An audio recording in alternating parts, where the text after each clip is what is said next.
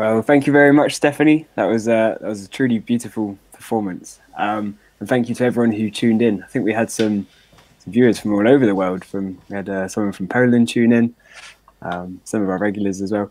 So yeah, thank you to everyone who, who tuned in and um, who commented as well. Um, Stephanie, how is how are you? How is how was that performance for you? it was it was okay. Um, I burnt my thumb earlier on in the week, so uh, on Tuesday I burnt my thumb, and it's it's a little bit sore, which is why I didn't do as much as I would have done. why there were Oh, a few dodgy moments in there.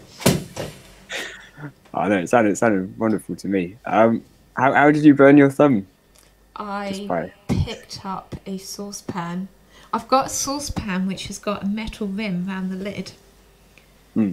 It's a glass lid with this really dangerous metal rim, and Rich has burnt himself on it as well. It's probably why it was in the clearance sale in Beales. It's a dodgy, cheap saucepan.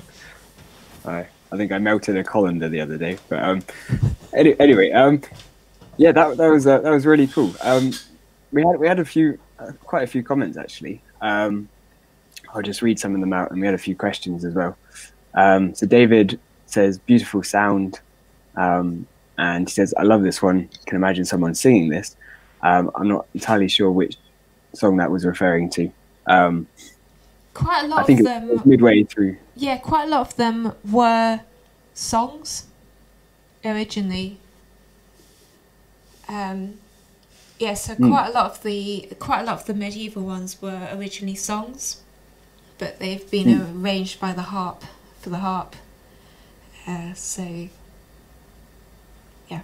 So they used to be um, they used to be sung by people, or yeah, quite Um, a lot of the medieval. Cause I put a few of my own pieces in there today. I actually wrote notes so that I I didn't forget what I was, what I do know, but uh, sometimes forget. so uh, quite a lot of the music that I was playing were troubadour songs, and it's from the era of about eleven hundred to thirteen hundred, Mhm. and they a troubadour was someone who did poetry and music and travelled around from court to court Mhm. as far as I can tell, that is what a troubadour is.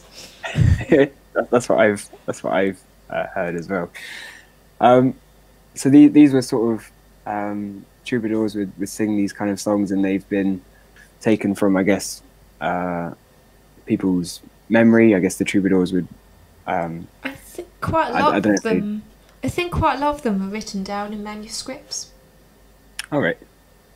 There's quite a few. There's quite a few things that have been written down and survived. Obviously, a lot of stuff's been lost, but quite. It's quite impressive how much has actually survived. Mm.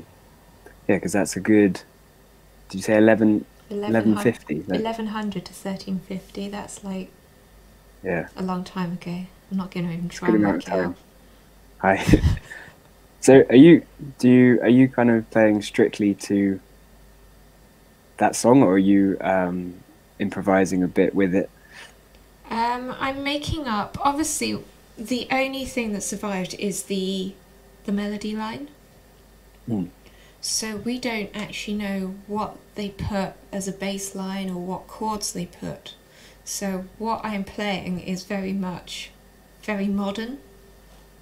Mm. But I'm playing it on a modern harp, so we we just don't actually know what it would have sounded like. So you get to uh, you can get away with playing around with it and making it up and just enjoy and just to enjoy imagining what maybe they would have used. Hmm. What what kind of pictures come to your head when you when you sort of cast your mind back then?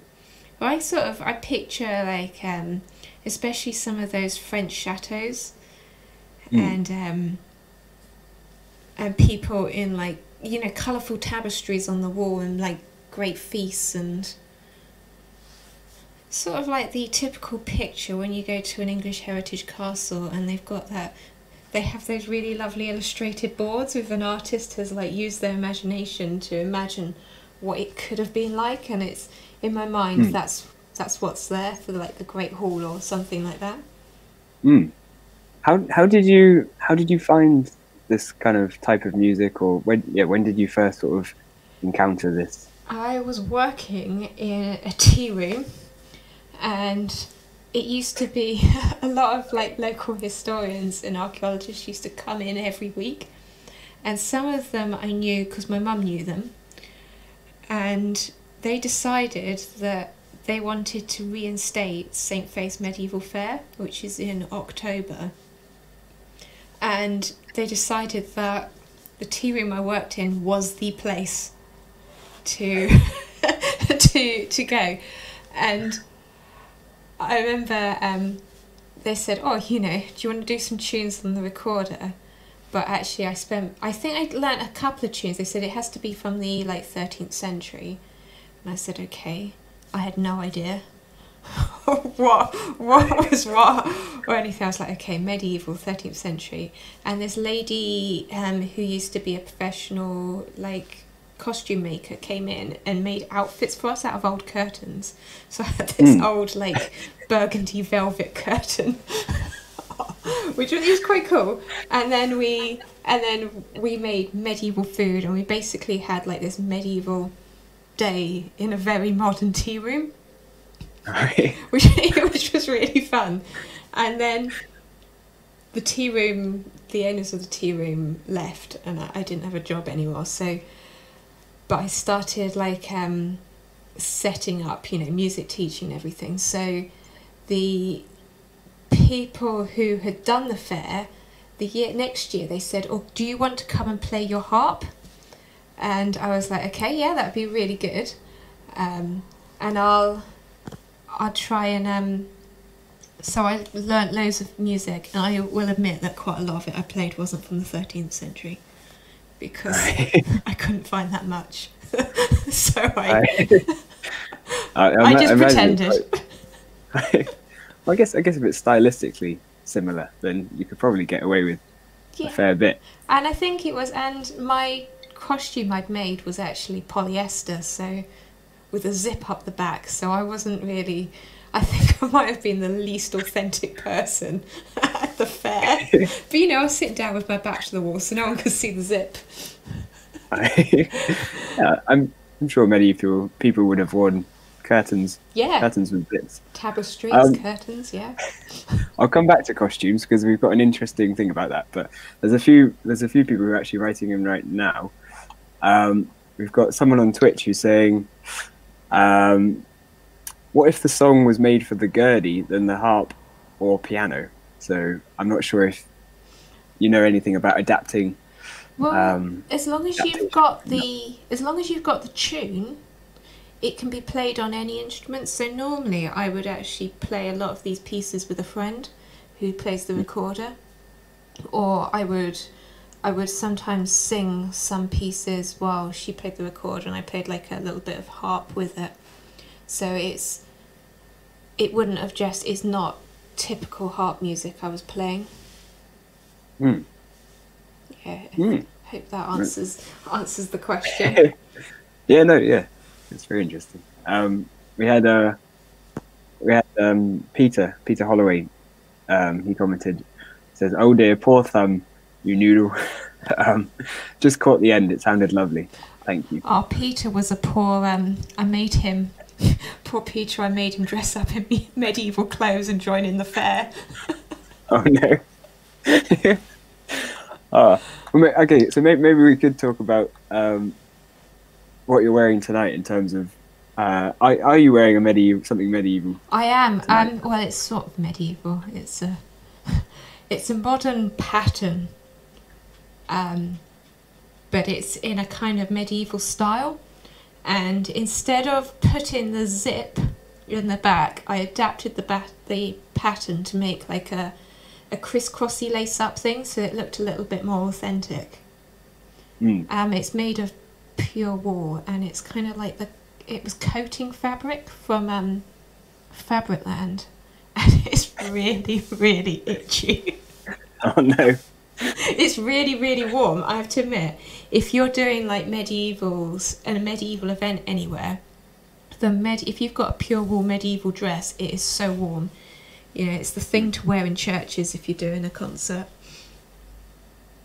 So is it the style that's um, medieval? Is it the, the colours? Uh, yeah, what what kind of thing? Yeah, it's kind of you have to imagine that uh, everything would have been dyed with vegetable dyes or plants. So you would have been able to get a blue like this, and it's it's quite a coarse weave, so it's kind of peasanty. it's it's lasted Aye. well though, um, and it's it's the it's the style, isn't it? It's the it's long sleeves, full to the ground. Yeah, Brilliant. Um, well, I, yeah, I'd, you'd have to make some for me one day. I'll, I'd love to wear a medieval dress. Um, we, uh, we got some more comments. So uh, Jules Buckley says, um, "Hi, silly question, but how long does it take to tune the harp?" it took me five minutes before we went live, just because it had been very very out of tune. Right. but normally it takes me about a minute. Do you do you do that by ear or do you have a? Uh, I have got a little gadget. It's like a little chromatic tuner, or I've got um, an app on my phone. Hmm. I can do it by ear, but it will take me a lot longer, Hmm. and the results aren't that accurate. yeah, I was going to say I, I I really struggle. I don't have very good pitch at all. Um, so it's quite yeah. I always marvel at people who, who do that. Um, I think yeah, we had a, another comment from David who says, um, "What's Stephanie's favorite key to play in?" Um, I think he noticed that the last song was in E flat. Uh, the last song was actually an E minor. Um, my favourite key, I don't think. It depends what harp I'm on. I think in this on this harp, I like playing in C minor because all the levers are down, so it sounds really rich, and I prefer minor keys.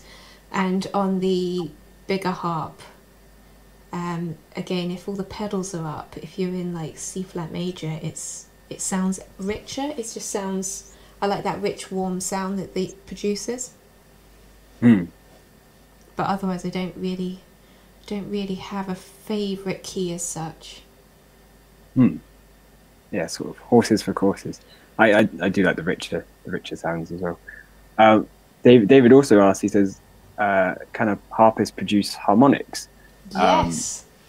yeah, you find the middle of the string. Oh, that was a terrible one. There we go. There's one there. Hey.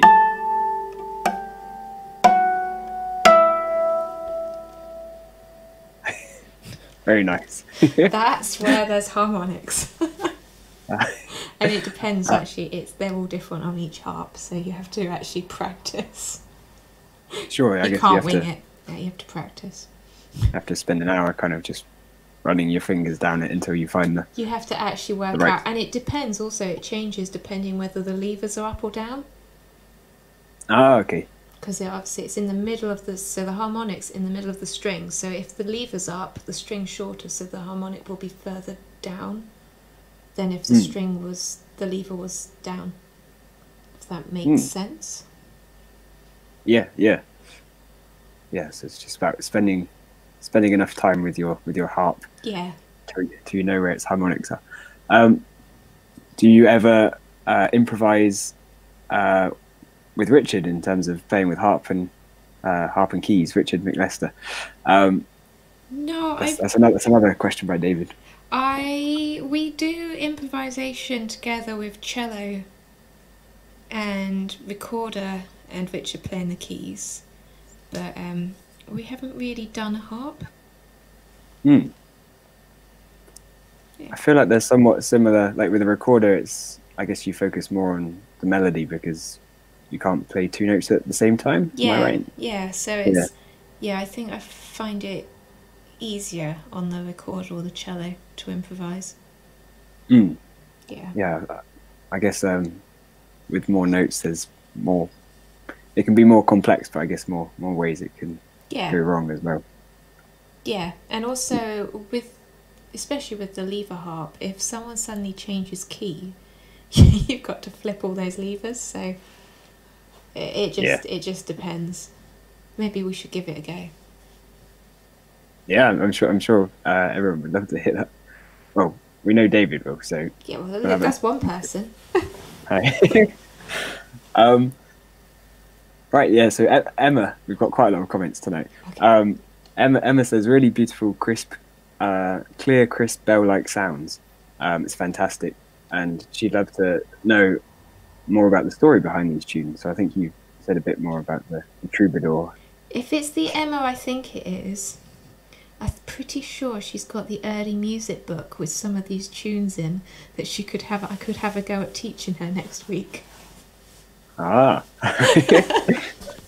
it's, it's Emma Emma Sajic. Yeah, that yeah that is the Emma I was thinking. Yeah, next next Wednesday, I'll teach her a medieval tune. oh, brilliant! I think, um, yeah. If any, if anyone who doesn't know, Steve, Stephanie is also a, a harp, uh, cello, and piano teacher as well. Um, so we'll put we'll put a link in the comments um, to our website if you are interested in that. Yeah. Um, yeah. Uh, so we've got more comments from Sorcha who says, "Beautiful Stephanie." Um, Peter Holloway says, uh, "Never again in those medieval clothes." You should really tell the rest of the story that of that day. um, If I remember I think ev- rightly, he had his. We all had these ridiculous hoods and hats on. if I remember rightly, he had the hood pulled right down so no one would recognise him. Oh, I, I think I dragged everybody I knew into it. I made everyone costumes and I was like, I need you. I need you there. They're still all talking to me actually, which is uh, something. oh, yeah, I, I think it's probably yeah, it's probably it's probably holds a special. I don't know. I, I like dressing up, so I'm sure it holds a special special place in the house. Um, Lorna Lorna says magical sound. Thank you, Stephanie. We all really enjoyed it. Um, and Emma Emma's replied as well. She she does have that book. Uh, so that's good. um, yeah, I think we had one final comment from um, Powell in uh, who says beautiful performance and best greetings from from Poland. Oh, brilliant. Um, so yeah, I think I think we had a we had a, a large audience from across the world tonight. So that's yeah, brilliant. thank you, thank you very much for for playing. Thank you. Um, I think you've got a another performance coming up sometime think next week. I think it's next Thursday. I'm not sure what I'm doing yet, but we will find out. We will find out nearer next Thursday. I- if Well, it would be something has any- similar. Yeah. If, any, if anyone has any uh, styles that suggestions or um, eras that they'd maybe like Stephanie to play, then I'm sure we can. Uh, Yeah, requests would be take, take good. some suggestions. Mm, maybe maybe even do harp on the bal- harp on the balcony. Yeah, I might have to wear the medieval dress. Well, actually, today it's been hailing, so uh, maybe uh, maybe as it gets a bit warmer. Right. All right. Well, well, thank you, thank you very much again, Stephanie. We'll put a link to your website and um, the event coming up next week. Um, so yeah, th- thanks again for, for performing. Thank you to everyone who tuned in. Uh, thank you to everyone who commented, everyone who liked. Um, yeah, thank you very much, and uh, we'll, we'll see you all uh, tomorrow for Richard McLester's performance live on the balcony. Although it might be inside because it's the weather's not looking great. Anyway, we'll, we'll see you all very soon, and uh, yeah, thank you very much. Good night.